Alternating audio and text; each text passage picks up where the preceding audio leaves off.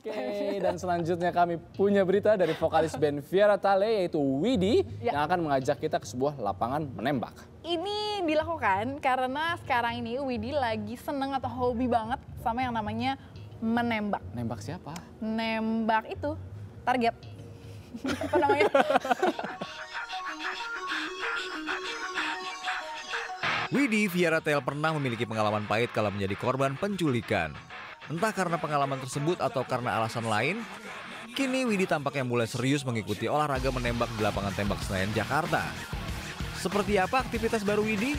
Yuk kita lihat liputan khusus tim Entertainment News berikut ini.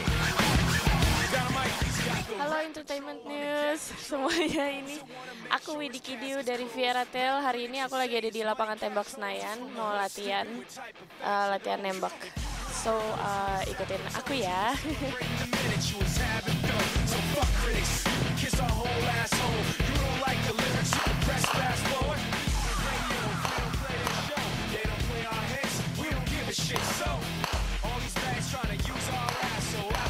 Oke ini eh, Om Agus. Om itu yang ngajarin aku. Opa ya? Enggak Ini senjatanya yang kita pakai adalah senjata yang ini, yang memang untuk eh, kompetisi. Kita harus memperhatikan safety. Pertama kali kita ambil senjata ini dari eh, kotaknya, kita harus amankan dulu. Begitu aman, baru kita gunakan.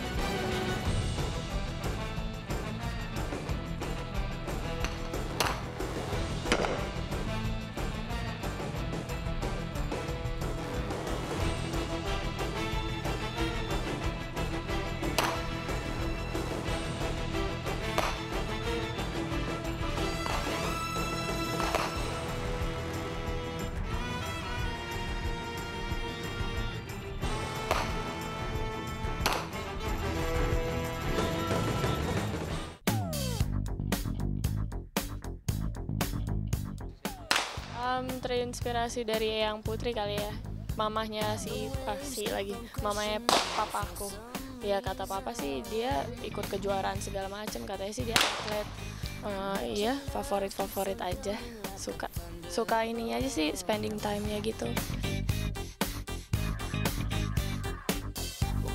Enggak dong, belum lah. Harus ada license punya senjata sendiri ya kan. Harus ikut ujian gitu-gitu.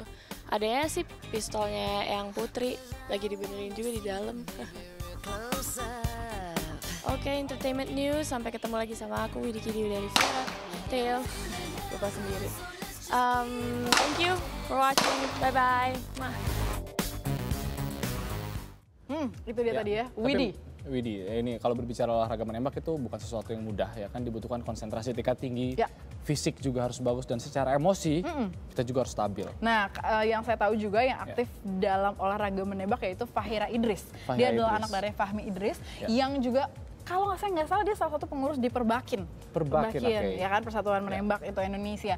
Dan saya beberapa kali baca uh, apa yang dia tulis di sosial media bahwa salah satu manfaat dari olahraga menembak adalah justru meredam emosi karena kita harus menjadi orang yang sangat bertanggung jawab ketika membidik sasaran tembak.